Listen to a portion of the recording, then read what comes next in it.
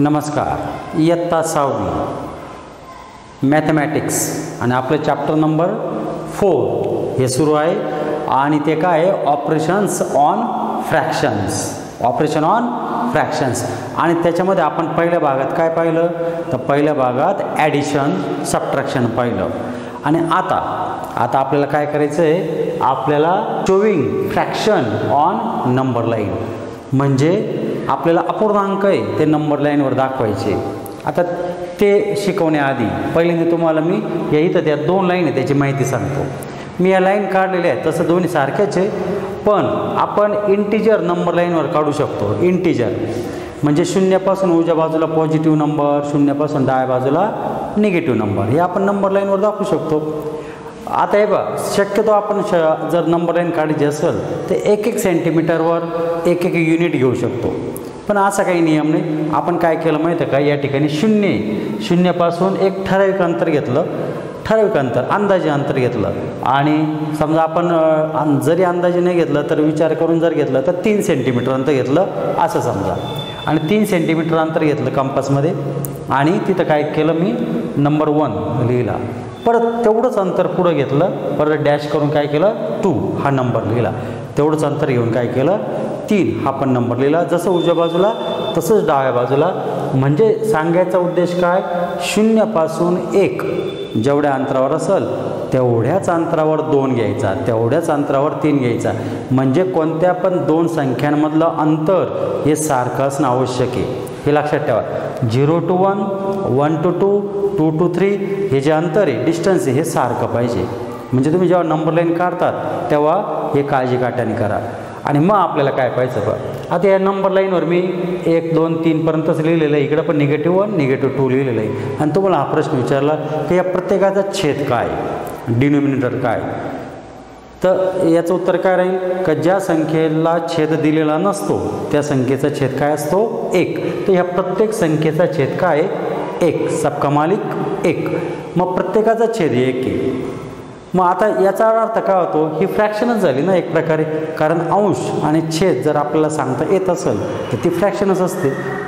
मग या पद्धतीने three upon one two upon one one upon one zero upon वनसुद्धा लिहिता येतं. Zero upon one negative one upon one negative two upon one म्हणजे या प्रत्येकाचा छेद किती आहे? वन बरोबर?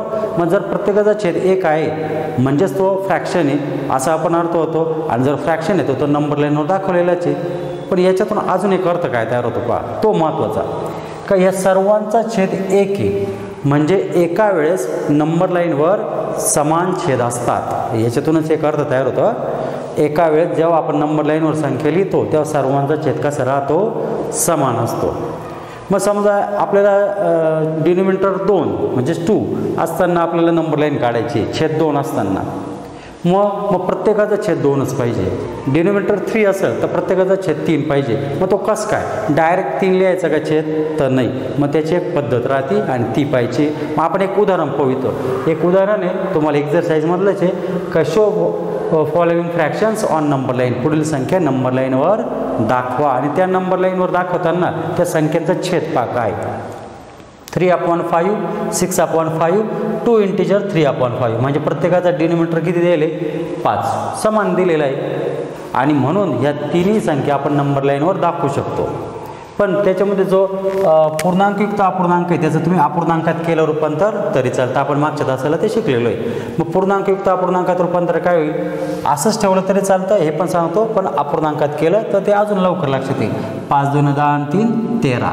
म्हणजे थर्टीन अपॉन फाईव्ह हे याचं रूपांतर झालं. म्हणजे मिक्स इंटू इम्प्रॉपर ते रूपांतर झालं.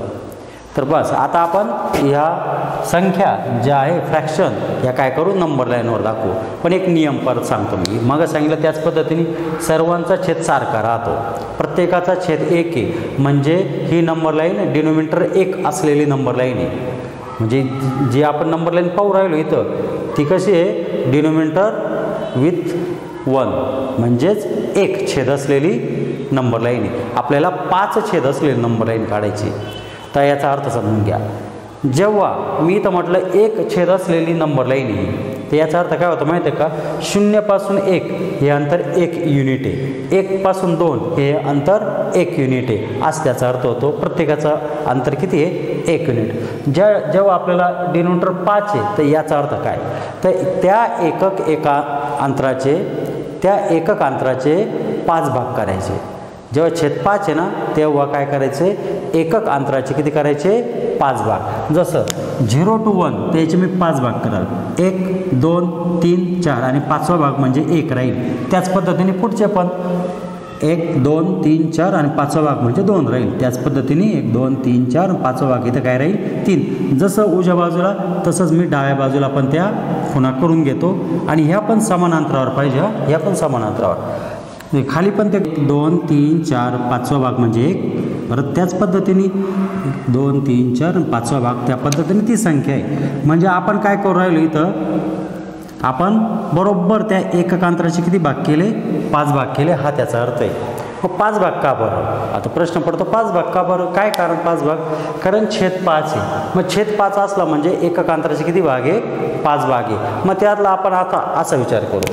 शून्य. शून्याचा पण शून्यानंतर जो पहिला भाग आहे आपण अपूर्णांकाचं तुम्हाला माहीत असेल अपूर्णांकाचं आता समजा मी पाच भाग करतो एखाद्या भाग वस्तूचे पाच भाग करतो. एक दोन तीन चार पाच भाग केले. हे पाचही भाग सारखे बरं का? तर मी काय म्हणाल हे पाच भाग आहे हा जो पहिला भाग आहे म्हणजे एक छेदी पाच आहे. बरोबर का नाही? म्हणजे पाच भागापैकी तो पहिला भाग आहे.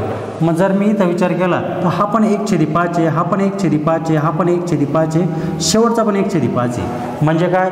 प्रत्येक भाग पाच भागापैकी एक भाग आहे प्रत्येक भाग बरं का? पहिला पण भाग पाच भागापैकी एक आहे दुसरा पण तिसरा पण चौथा पण पाचवा. पण जेव्हा आपण दोन भागांचा विचार केला हा तर झाला एक छेदी पाच. पण मी जेव्हा दोन भागांचा विचार केला तर हे किती होतील? दोन छेदी पाच. आता काय होईल मात्र? दोनशे ते पाच. जेव्हा मी तीन भागांचा विचार केला तीन तेव्हा टोटल इथून ते इथपर्यंत किती होतील ते? तीनशे ते पाच. म्हणजे पाच भागापैकी तीन भाग आहे. तसंच चार भाग मी जर पूर्ण केले तर काय होईल? चारशे ते पाच. म्हणजेच जर मी इथून पूर्ण इथपर्यंत केले तर हाच टोटल भाग काय होईल? इथून ते इथपर्यंत तर चार छेदी आणि पाच. आणि मी टोटल कलर केला. तर काय होईल? पाच छेदी पाच. पाच छेदी पाच म्हणजेच काय? पाच छेदी पाच म्हणजेच काय? मी एक भाग पूर्ण केला. पूर्ण एक कंप्लीट केलं. आज त्याचा अर्थ होतो म्हणजे हा जो अर्थ आहे का पहिला भाग राहतो एक छेदी पाच जेव्हा दोन भाग राहतील तेव्हा दोन छेदी पाच तीन भाग असेल तेव्हा तीन छेदी पाच चार भाग असेल तेव्हा चार छेदी पाच आणि पाच छेदी पाच म्हणजे एक कंप्लीट बरोबर? तसंच इथं. एका एककाचे किती भाग केले आपण? पाच भाग केले. हां? कारण छेद पाच होता म्हणून. छेद जर तीन असेल तर तीन भाग समान करायचे. छेद दोन असेल तर दोन भाग करायचे. छेद दहा असेल तर दहा भाग करायचे. जेवढे एककांतराचे जेवढा छेद असेल तेवढे एककांतराचे भाग करायचे. पण एका एककाचे नाही बरं का सर्वांचेच. शून्य ते एक पण तेवढेच भाग एक ते दोन पण तेवढेच आणि दोन ते तीन पण तेवढेच भाग करावा लागणार सगळ्या ठिकाणी. आता हा जो पहिला भाग आहे त्याला आपण एक छेदी पाच म्हणू शकतो. म्हणजे या पाच भागापैकी म्हणजे इथून ते इथपर्यंत या पाच भागापैकी हा पहिला भाग. त्याच पद्धतीने हा दुसरा भाग आहे म्हणजे इथून इथपर्यंत हे दोन भाग आहे म्हणजेच पाच भागापैकी दुसरा भाग म्हणजे दोन छेदी पाच. तसं जर हा तीन भाग आहे तीन भाग म्हणजेच तीन छेदी पाच पाच भागापैकी एवढा तुकडा म्हणजेच तिसरा तीन भाग आहे तसंच पुढचा काय होईल? चार छेदी पाच. म्हणजे पाच भागापैकी चार भाग मी कंप्लीट केला असा अर्थ होतो. आणि एक म्हणजेच काय होईल मग? एक म्हणजेच पाच छेदी पाच. एक म्हणजेच काय? पाच छेदी पाच. मग जेव्हा आपल्याला पाच भाग पाच भाग करायचे तेव्हा एक म्हणजे पाच छेदी पाच राहील जेव्हा दहा भाग करायचे तेव्हा दहा छेदी दहा म्हणजे एक राहील म्हणजे याचा अर्थ दहा भाग करावा लागेल. जेव्हा आपल्याला तीन भाग करायचे राहतील म्हणजेच छेत्ती नसलेली नंबर लाईन दाखवायची त्याच्यातून अर्थ समजून घेत जा. जेव्हा छेत्ती नसलेली नंबर लाईन दाखवायची तेव्हा एक जो अंक राहील तो म्हणजे तीन छेदी तीन. जेव्हा छेद चार असलेली नंबर लाईन दाखवायची तेव्हा एक म्हणजेच काय राहील चारशे ते चार. मग या हिशोबाने पुढचे पण अंक तयार होतील. तसंच आपण पुढे विचार करू. मग एक नंतर हा पाचशे ते पाच नंतर सहाशे ते पाच सातशे ते पाच या हिशोबाने तयार होतील. म्हणजेच दोन म्हणजे दहाशे ते पाच तयार होतील. दोन म्हणजे काय? Ten upon five. जसं उजव्या बाजूला तसं डाव्या बाजूला. मग प्रश्न हा पण पडतो मग एवढं सर्व लिहायचं का? तर एवढं सर्व लिहायची आवश्यकता नसते. जर तुम्हाला वाटलं दोन नंबर लाईन काढायच्या तर काढू शकतात समजून घेण्यासाठी. तर पहिली नंबर लाईन कशासाठी आणि दुसरी कशासाठी ते मी सांगतो. पहिली नंबर लाईन कायसाठी का पहिल्या नंबर लाईनवर हे फक्त दाखवण्यासाठी का आम्ही एका एककाचे पाच भाग केलेले आहे? कारण आपल्या आपल्याला छेद पाच असलेली नंबर लाईन काढायची. म्हणून पहिली नंबर लाईन काढताना मी काय केलं? एका एककाचे किती भाग केले? प्रत्येक एककाचे पाच भाग. आणि नंतर मी दुसरी नंबर लाईन यासाठी वापरल की ह्या संख्या नंबर लाईनवर दाखवण्यासाठी. जेवढं आपण सुटसुटीत काम केलं तेवढं आपल्याला लवकर लक्षात येतं. कारण तुम्हाला सातवीला याच्यानंतर काय रॅशनल नंबर पण नंबर लाईनवर दाखवायचं आहे लक्षात ठेवा रॅशनल नंबर जे आहे ना ते म्हणजे फ्रॅक्शनचाच एक प्रभाग आहे. म्हणून तुम्ही हे दाखवू शकले नंबर लाईनवर फ्रॅक्शन तर याचा अर्थ तुम्ही रॅशनल नंबरसुद्धा नंबर लाईनवर दाखवले असाच अर्थ होईल. म्हणून हे काम पुढच्या वर्षी पण त्याच्या पुढं पण असल्यामुळं डबल काम केलं तरी काही प्रॉब्लेम नाही. आता आता हा झाला मी अर्थ. का एक एक पाच भाग करायचे तर पाच भाग करावं लागेल. सहा छेद असेल तर सहा भाग करावं लागेल. हे मी इतक्यात सांगितलं. मी काय सांगितलं परत सांगतो. का एका एककाचे पाच भाग केव्हा करावं लागतील? तेव्हा डिनोमिनेटर पाच असेल तेव्हा. एका एककाचे तीनच भाग केव्हा करावं लागेल? जेव्हा डिनोमिनेटर तीन असेल तेव्हा. हे लक्षात ठेवा. म्हणजे त्याच्याच उलटं पण जर छेद दहा असेल तर एका एककाचे दहा भाग करणं आवश्यक आहे. आणि जो दहावा भाग म्हणजेच दहाचे दहा म्हणजेच एक असा पण अर्थ त्याच्यातून तयार होतो. मग आता आपल्याला ह्या नंबर नंबर लाईनवर दाखवायचे आहे. तर याचा अर्थ काय होतो का पहिल्यांदा काय बरं? थ्री अपॉन फाईव्ह मग चेक करू आपण थ्री अपॉन फाईव्ह कुठे आहे? तर झिरो अपॉन फाईव्ह म्हणजे मी इथं प्रत्येकाचा छेद किती दाखवतो आहे पाच दाखवतो आहे कारण असं राहतं प्रत्येकाची छेद सारखा पाहिजे राहतो नंबर लाईनवर तर पहिली काय? आहे झिरो अपॉन फाईव्ह तर थ्री अपॉन फाईव्ह कुठे येईल पा ही पहिली दुसरी आणि तिसरी ही दिस तिसरी जी रेश असेल ती तर राहील काय? थ्री अपॉन फाईव्ह आपण त्याला पॉईंट ए म्हणू. कारण आपल्याला तो दाखवायचा आहे तर आपण लिहू शकतो. का point A denote three upon five म्हणजेच यालाच त्याचा कोऑर्डिनेट असं पण म्हणतात पुढची माहिती म्हणून. तर हा झाला थ्री अपॉन फाईव्ह मग हा जो वन आहे वन ती तर काही विचारलेला नव्हता म्हणजे फाईव्ह अपॉन फाईव्ह विचारला नव्हता. पण तरी पण मी इथं काय करतो जो जिथं वन होता तिथं काय लिहितो फाईव्ह अपॉन फाईव्ह असं लिहितो. म्हणजेच त्याचा अर्थ काय? वन. हे पण मी वरती लिहिलं. तसंच पुढे विचार केला तर आपल्याला आपण अजून काय? सिक्स अपॉईंट फाईव्ह दाखवायचं आहे. तर सिक्स अपॉईंट फाईव्ह कुठं येईल? तर सिक्स अपॉईंट फाईव्ह या ठिकाणी येईल. पाच नंतर एक म्हणजे सिक्स अपॉन फाईव्ह इथं मी बी या वर्टेक्स लिहितो. बी हा ए पॉईंटला नाव देतो. बी नाव दिलं म्हणजे पॉईंट बी डेनोट्स काय सिक्स अपॉन फाईव्ह आता पुढची संख्या पहा. मी दोन्ही प्रकारे लिहू शकतो नंबर लाईनवर या प्रकारे पण आणि या प्रकारे पण. पहिल्यांदा ह्या प्रकारे सांगतो. Two integer three upon five याचा अर्थ काय होतो? दोन पूर्णांक तीन छेदी पाच. अर्थ काय होतो पहा? दोन पूर्णांक. म्हणजे जर मी इथं असा विचार केला ते असे जे पाच भाग केलेले असे बॉक्स आहे समजा.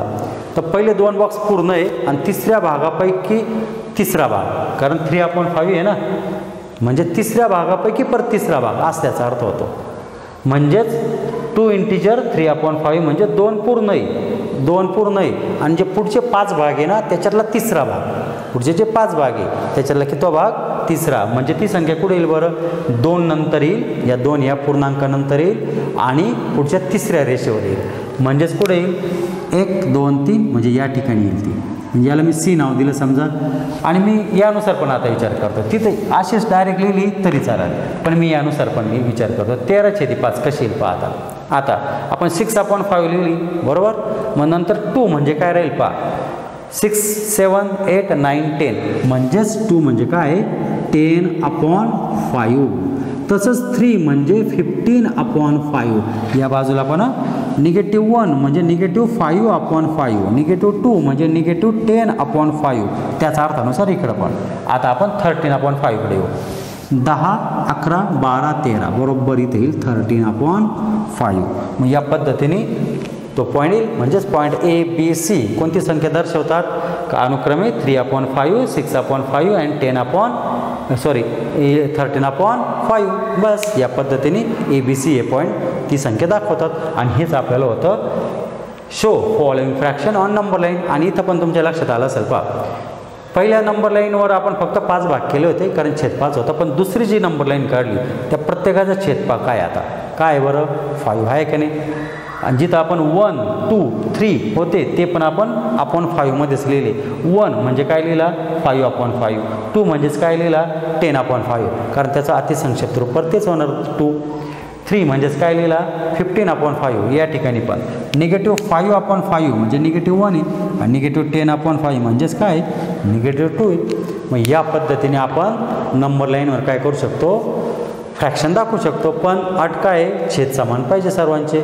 छेद समान असेल तरच त्या सर्व संख्या नंबर लाईनवर दाखवता येतात.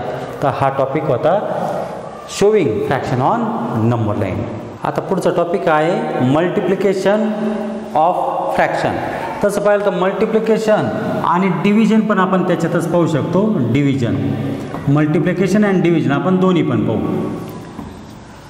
आता बघा मल्टिप्लिकेशनचा रूल बेरजेपेक्षा वेगळा राहतो ॲडिशनपेक्षा ॲडिशनमध्ये काय करतो माहिती आहे का आपण? महत्त्वाचं म्हणजे छेद समान करतो. छेद समान केल्याशिवाय म्हणजे डिनोमिनेटर सेम असल्याशिवाय आपण ॲडिशन करू शकत नाही. मग ते कसे करते करतो ॲडिशन ते आपण मागच्या तासाला पाहिलेलं आहे. पण मल्टिप्लायमध्ये गुणाकारामध्ये छेद समान करत नाही. हे सर्वात महत्त्वाचं अनेक जण अनेक विद्यार्थी मागच्या वर्षी पण किंवा त्याच्या आधी पण अपूर्णांकांची बेरीज आणि अपूर्णांकांचा गुणाकार याच्यामध्ये गोंधळ करतात. बेरजेमध्ये गुणाकारचे नियम वापरतात गुणाकारामध्ये अनेक वेळा बेरजेचे नियम वापरतात. आणि एकच लक्षात ठेवतात. अनेक जण फक्त फ्रॅक्शनच्या बाबतीत एकच लक्षात ठेवतात. छेद समान करायचे छेद समान करायचे. बस तेवढं लक्षात ठेवायचे. पण ते केव्हा? ते पण लक्षात ठेवा. फक्त बेरीज आणि वजाबाकी असेल तरच छेद समान करायचे. गुणाकार भागाकाराला छेद समान करत नाही. हे विसरूनच जातात अनेक जण. गुणाकार भागाकाराला सुद्धा छेद समान करत बसतात आणि म्हणून वेळ वाया जातो आणि उदाहरण तर चुकतंच. म्हणून हे नीट लक्षात ठेवा. फ्रॅक्शनचा गुणाकार आणि भागाकार असेल फ्रॅक्शनचा गुणाकार भागाकार असेल तर कधीही त्यांचा छेद समान करत नाही. तर मग काय करायचं? एकच सरळ साधं सूत्र नियम. काय? अंशाचा गुणाकार अंशामध्ये छेदाचा गुणाकार छेदामध्ये. बस एवढंच नियम. हां पण त्याच्यामध्ये अजून एक असतं. कसं? जर दोन्ही संख्यांना जर भाग जात असेल म्हणजे अतिसंक्षिप्त रूप ते मात्र देऊ शकतात तुम्ही. पण समजा एखाद्याने नाही दिलं तर उत्तर चुकतं असं काही नाही. उत्तर तर बरोबर फक्त नियम काय? अंशाचा गुणाकार अंशामध्ये छेदांचा गुणाकार छेदामध्ये आपण एक उदाहरण पाहू. मग पहिलं उदाहरण आपण पाहू. Three upon seven into two upon seven मुद्दा म्हणून पहिलं उदाहरण छेद समान असल्याचं घेतलेलं आहे. मुद्दा म्हणून मी काय केलं? पहिलं उदाहरण काय केलं? छेदसमान पण छेदसमानचा संबंधच नाही इथं. छेदसमान असो नाही तर नसो त्याच्याशी काही घेणं नाही. फक्त नियम काय सांगितला?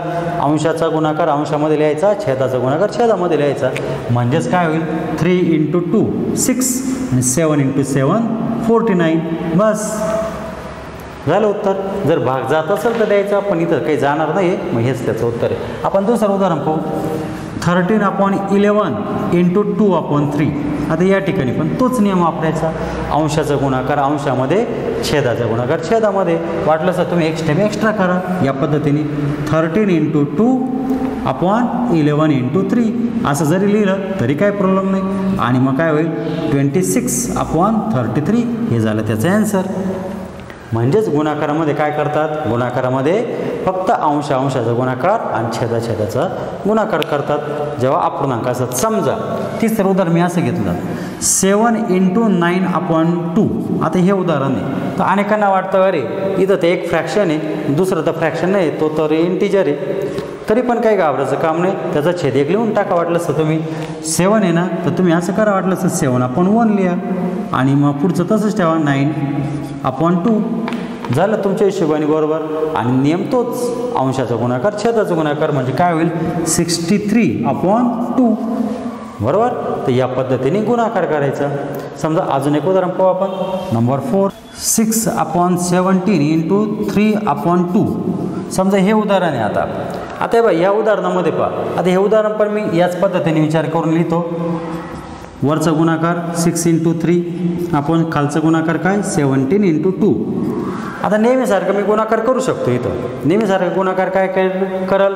अंश अंशाचा गुणाकार म्हणजे किती येईल? एटीन अपॉन किती होईल पुढं छेदामध्ये? थर्टी फोर म्हणजे असं मी करू शकतो.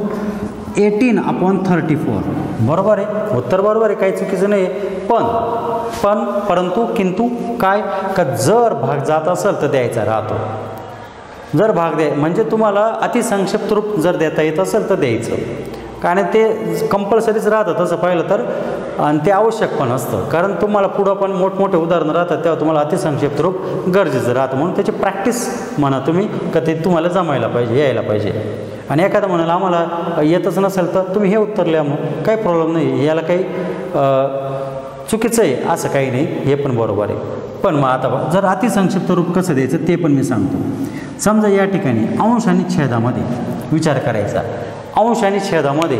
जर एखादी संख्या पट्टीतली असेल तुम्हाला माहितीतल्या पाढ्यातली असेल तर भाग द्यायचा. इथं पहा जसं इथं सिक्स आहे आणि इथं काय टू सिक्स आणि टू जर विचार केला तर टूच्या टेबलमध्ये टू जर जर टेबल म्हटलं आपण तर काय होईल? टू वन जा टू टू टू जा फोर टू थ्री जा सिक्स बे एक बे बे दुने चार बेत्रिक सहा. म्हणजे दोनच्या टेबलमध्ये ह्या दोन्ही संख्या आहे. बरोबर? आणि जर दोन चार टेबलमध्ये दोन्ही संख्या असेल तर तुम्हाला भाग द्यायचा आहे द्यावा लागणार आहे. भाग कसा द्यायचा मग? बे एक बे बेत्रिक सहा. दिला भाग. म्हणजे अंश आणि छेदमध्ये बरं का? अंश आणि छेदामध्ये जर पटीतल्या संख्या असतील तर भाग द्यायचा. तुम्ही म्हणाल इथं अंश अंशामध्ये पण पटीतले तीन एक तीन तीन दुने सहा. तर असं करायचं नाही. अंशा अंशाला भागाकार करायचं नाही. तर अंश अंशाचा गुणाकार करतात. अंश आणि छेद म्हणजे भागाकार क्रिया राहते एक प्रकारची. आणि म्हणून त्या दोघांमध्ये भाग द्यायचा. अंश आणि छेदामध्ये फक्त छेदाछेदामध्ये भाग नाही द्यायचा फक्त अंश अंशामध्ये भाग नाही द्यायचा हे लक्षात ठेवा. आणि मग भाग दिल्यानंतर उरलेला गुणाकार तीन त्रिक नऊ आणि छेदी सतरा एक सतरा. झालं उत्तर.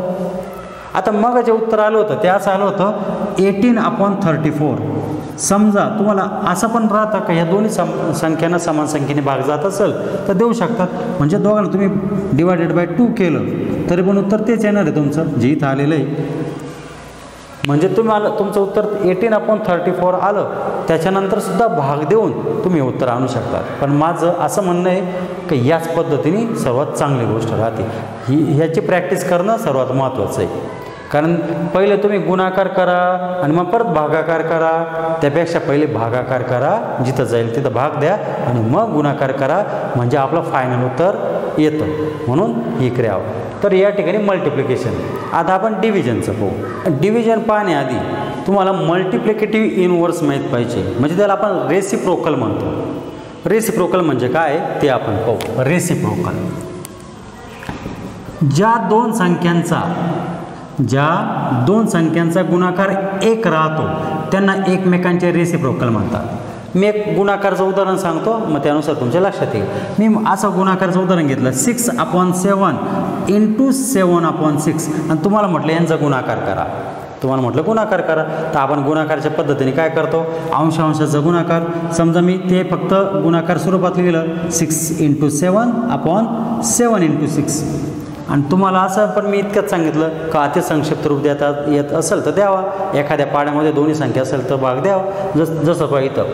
सिक्स आणि इथं सिक्स आहे. म्हणजे दोन्ही पण सिक्सच्या टेबलमध्ये आहे ना? म्हणजे सिक्स वन ज सिक्स सिक्स वन ज सिक्स भाग गेला. तसं इकडं सेवन सेवन पण दिसतोय तुम्हाला. आहे ना? सात एक सात सात एक सात. म्हणजेच काय आलं बरं उत्तर? One upon one. अंशामध्ये गुणाकार केला वन इंटू वन वन तयार होतो. छेदामध्ये पण वन इंटू वन वन तयार होतो. आणि मग वन अपॉन वन म्हणजेच काय आहे? वन. कारण छेद तर लिहिती छेद एक असेल तर लिहिलं नाही तरी चालतं. म्हणजे उत्तर काय येतं? वन. म्हणजे अर्थ काय झाला? का ह्या दोन्ही संख्यांचा गुणाकार किती आला? एक. या दोन्ही संख्या. आता ह्या दोन्ही संख्यांचा गुणाकार एक आला. मग मी कितक्यात काय सांगितलं? का ज्या दोन संख्यांचा गुणाकार एक राहतो त्या संख्या एकमेकांच्या रेसिप्रोकल असतात म्हणजेच मल्टिप्लिकेटिव्ह इनवर्स असतात. गुणाकार एक आला तर आता सांगा. सिक्स अपॉन सेवन आणि सेवन अपॉन सिक्स या दोन्ही काय झाल्या? एकमेकांच्या रेसिप्रोकल मग तुम्ही दिसल्यावर इथं उदाहरण पाहिल्यावर तुमच्या लक्षात येईल. पहा काय बदल आहे बरं. Six upon seven seven upon six आला असेल बदल काय? पहिलं फ्रॅक्शन काय? सिक्स अपॉन सेवन दुसरं काय? सेवन अपॉन सिक्स फक्त अंश आणि छेद यांची आदला बदल आहे. आहे का नाही? म्हणून तर ते कट झाले. म्हणून तर उत्तर एक आलं. मग अशा प्रकारचे जे फ्रॅक्शन असेल ज्याच्यामध्ये अंश आणि छेद यांची आदला बदल असेल त्यांनाच एकमेकांचे रेसिप्रोकल म्हणतात आणि त्यांचा गुणाकार एक राहतो. तर मल्टिप्लिकेटिव्ह इनवर्स किंवा रेसिप्रोकल म्हणजेच काय? थोडक्यात का त्या संख्या फक्त अंशांचे आदला बदल करून लिहिणं. मग उदाहरणार्थ अजून एक फॉर एक्झाम्पल मी तुम्हाला असं म्हटलं. सेवन अपॉन नाईन ही संख्या दिली आणि याची मल्टिप्लिकेटिव्ह इनवर्स म्हटलं. मल्टिप्लिकेटिव्ह इनवर्स काय होईल बरं? मल्टिप्लिकेटिव्ह इनवर्स काय होईल बरं?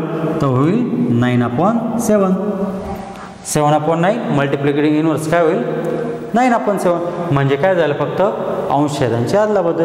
मग आपण कोणत्या पण संख्येचं मल्टिप्लिकेटिव्ह इनवर्स लिहू शकतो. एकची तुम्हाला विचारली एकची तर एकच राहील.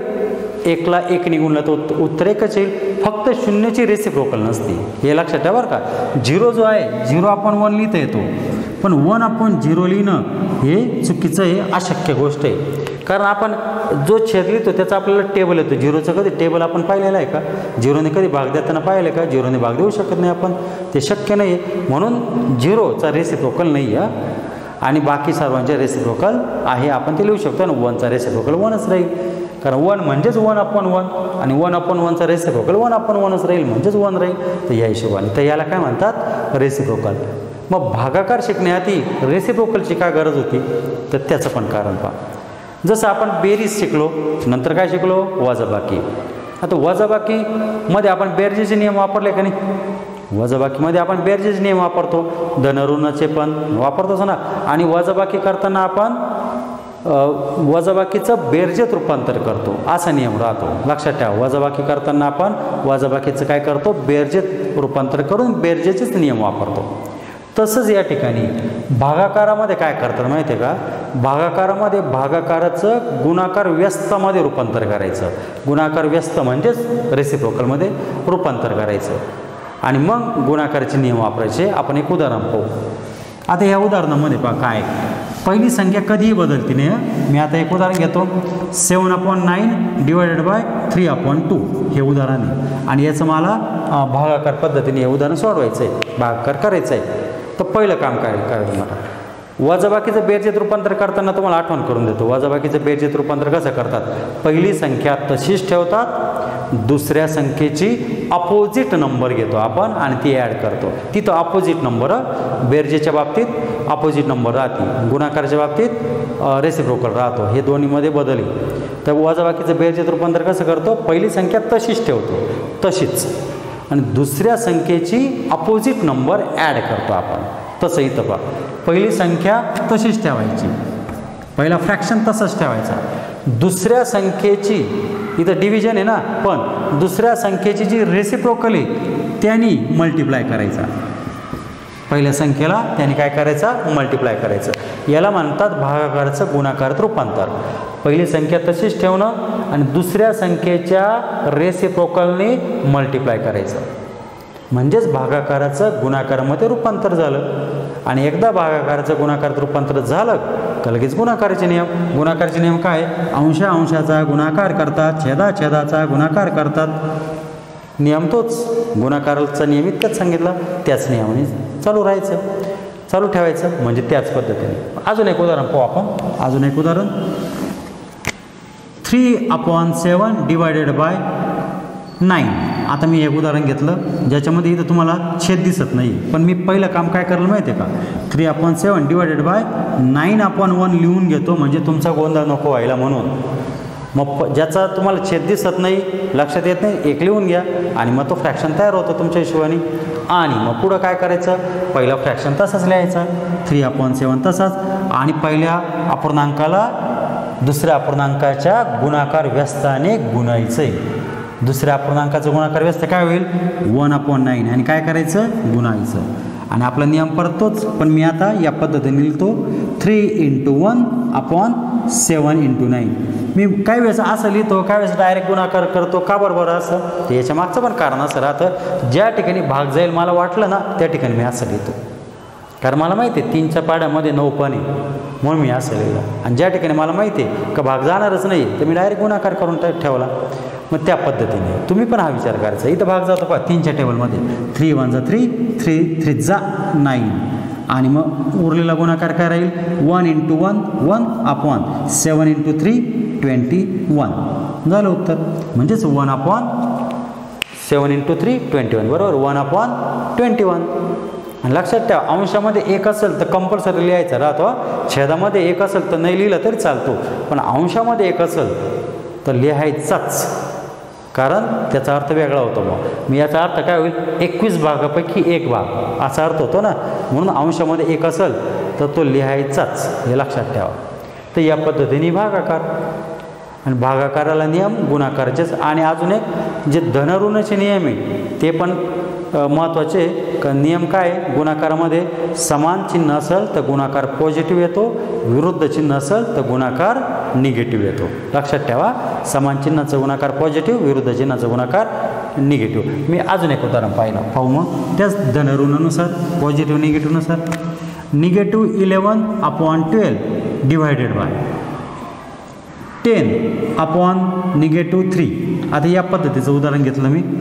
मग पहिलं मी काम काय करणार? भागाकारचं गुणाकार रूपांतर. कसं?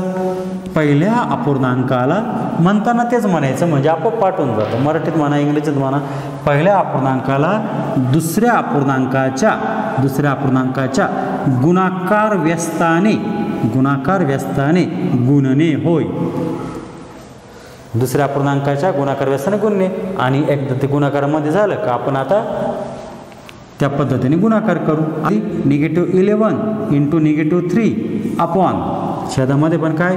ट्वेल्व इंटू टेन भाग द्यायचा आहे आता आपल्याला. इथं भाग जातो पण आहे जातो आहे का नाही? कशाने जाईल आता इथं? तीन आणि बारा पा एका पाड्यामध्ये. धनऋण संख्या जरी असल्या भाग तर नेहमीसारखाच द्यायचा. फक्त भागाकाराला पण गुणाकारचाच नियम वा वापरायचा. एक संख्या धन आहे एक संख्या ऋण आहे गुणाकार कसा राहतो निगेटिव्ह तसं भागाकार पण निगेटिव्हच राहील. मग इथं पा तीनने भाग दिला.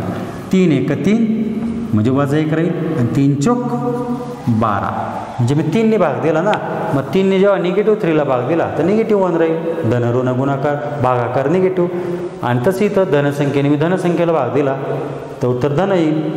कारण तीन तर पॉझिटिव्ह होती मी त्या पॉझिटिव्ह तीनने दोघांना भाग दिलेला आहे हे लक्षात ठेवा.